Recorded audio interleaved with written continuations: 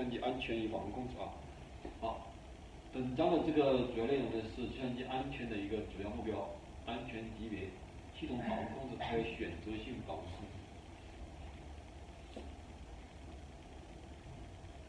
好，那么什么是计算机安全啊？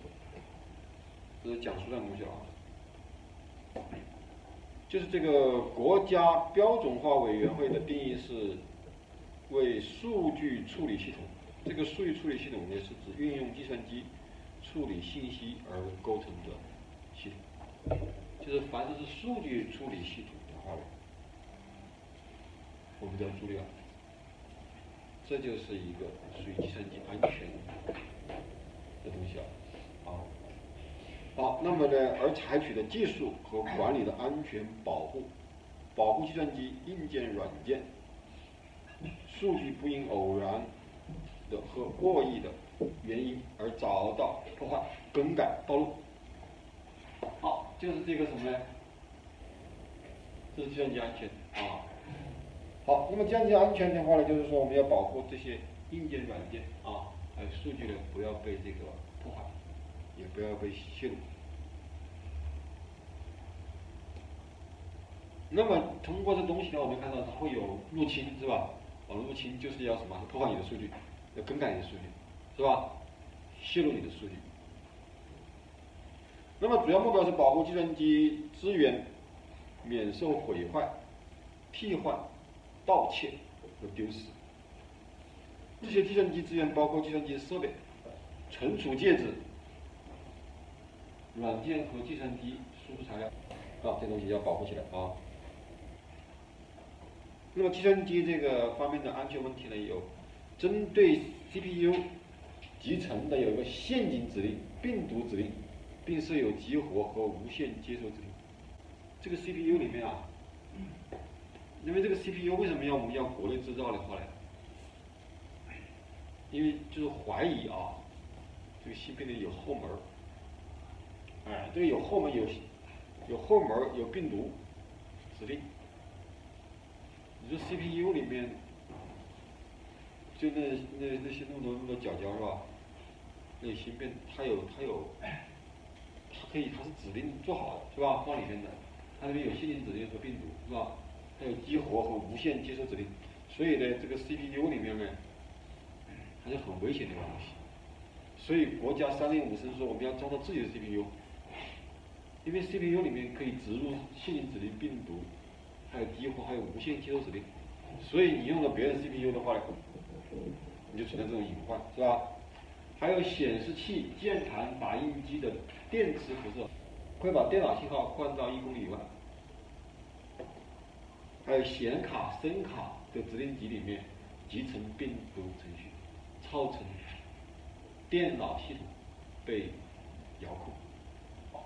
另外是将带有自毁程序的芯片植入装备系统内，或将装有木马或者是逻辑炸弹程序预先植入计算机。电源泄密，这个电源泄密是通过市电电线把电脑产生的电磁信号沿电线传出去，利用特殊设备可以从电源线上可以把信号截取下来还原。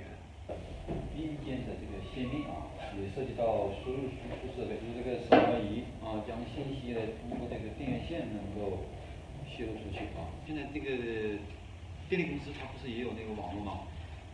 它怎么通过呢？通过那个输电的那个电源线啊，它能够也能够接入网络，接入互联网，是吧？从某种角度来说，它们也是通的啊。包括我们像那个有线电视啊，它也可以上网，是吧？这都是都可以通过这个，反正有这个线缆的地方都可以通过这个传输数据，是吧？好，另外一个就是这个计算机安全违法犯罪行为及攻击手段。最早第一个就是那个窃听，窃听呢是计算机向周围的空间辐射电磁波可以被接收。啊，所以我们现在这个计算机啊，像很多计算机它就。它那个周围是那那种封闭式的，啊，采用封闭式的。这个我们一般计算机你就是敞开式的是吧？但是很多单位计算机啊，还有一个是外面它是一一个要要要防护一下，你很可能你的信号在周围这个区域容易被那个是吧是吧？有一些不法分子是吧？在窃听的话能够窃到你的这个信息，它首先呢是在外围进行一个布局。好，那么计算机向这个周围发射这个电磁波呢，可以从原上是可以被接受的。解释以后呢，能够将信息复现啊。达线窃听呢是另外一种窃取计算机信息和手段，特别对于跨国计算机网络很难控制。啊，第二种是什么？越权存取。计算机的这个机密数据呢，被他人越权存取了。啊，我们这个越权存取呢，里面有概念，就是计算机域啊。我们在云计算里面，还有这种各种信息安全计算机网络里面，都有个叫域域安全。啊，每个域里面的这个管理员呢，会分每个域的这个安全权限。比如说你有存取的权限是吧？有最高权限。你呢就读和取是吧？你呢只能只读，那个能修改。你能只看到一部分，另外一个你看不到。以前我们是用 IP 地址啊之类的可以封闭是吧？你的 IP 就不能够这个访问。有的时候为了方便是吧？你不可能领导老在一个单位是吧？这个 IP 容易变，有时候跑管理，有可能就利用一些用户名和口令是吧？有可能利用一些硬件产品进行访问。但是这东西呢，容易被什么？容易被这个有预谋的人去窃取。当做领导啊去修改是吧？去窃取，这种事情叫越权存存取啊。一些具体的一些东西被修改以后，被篡改以后，使你这些东西呢，就发生了这个危险的变化啊。你看这个各种各种机密数据，如果被他篡改以后，那是很可怕的是吧？好，第三个是黑客，他是采取非法手段躲过计算机网络的存取控制。得以进入计算机网络的人，称为这个黑客啊。黑客一般就是他是掌握了这个计算机这个漏洞，是吧？啊利用计算机的漏洞，比方说缓冲机计出，比方说你程序系统本身就有一各种各样的逻辑错误，啊，或者你对口令的管理不严格，啊，他通过这种手段呢，能够对它进行这个存取。啊。第四个就是计算机病毒，这个计算机病毒的话，我们大家都知道啊。后面要详细讲。啊，第五个是有害的信息。嗯，这个有害信息是是危害国家安全内容的信息和危害社会自然秩序内容的信息。有害信息的来源基本上来自境外，啊，一部分的是通过这个 Internet 进入国内，还有计算机游戏。计算机游戏里面也是有这个危害信息，啊，因为计算机现在游戏里面呢都有很多广告，是吧？它会链接到一些地方，会给你弹出信息啊。还有教学工具等各种软件以及多媒产品中间都会流入国内。这种软件的话，都会带有什么有害信息，是吧？他比方说给你一个计算机软件，给你一个教学工具软件，是吧？哎，但是呢，他顺便打包一一些这个有害的一些网站啊，告诉你是吧？甚至呢，告诉你一些有害信息传播，打包过来啊。这都是我们要注意的啊。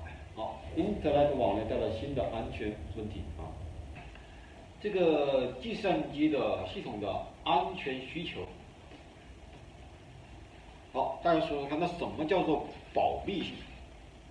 保密主要是什么方面啊？有研究加密的，有研究解密的，是吧？如果能研究出一个很快的解密算法，它也很厉害，是吧？所以这个保密的。是这个安全性的这个首要啊。第二点是安全性，计算机的安全性是一个通用的问题啊，因为它肯定要安全。比方说我们银行密码呀，不能被泄露，是吧？用户名和银行密码，还有我们传输空间的这个要有安全性。好，第三个是这个完整性，你的传输要完整。第四个就是一个服务的这个可用性。那我们计算机安全，你这个系统的话，这个服务的可用性啊，你知道这个网银啊，网网络银行啊，它这个网站，它是不停的遭到什么外面的攻击的啊。遭到攻击的话，你不能够被攻击完以后就就中断了是吧？那么你首先会有什么？我们首先会在这里放置一个什么？这个防火墙，防范这个金融写在这边啊，微博写在这边。这个防火墙呢，就是防范外界的进攻。好，然后呢，防火墙以后呢，这个穿过的防火墙，它这里面就有一个什么 IDS、IPS，这有很多什么 McAfee，这是我们说的什么一些安全软件，是吧？它做什么？做入侵检测。这是一个 IDS 的一个服务管理器。这个服务管理器不是一台小型机啊，这是一台大的一个服务器群。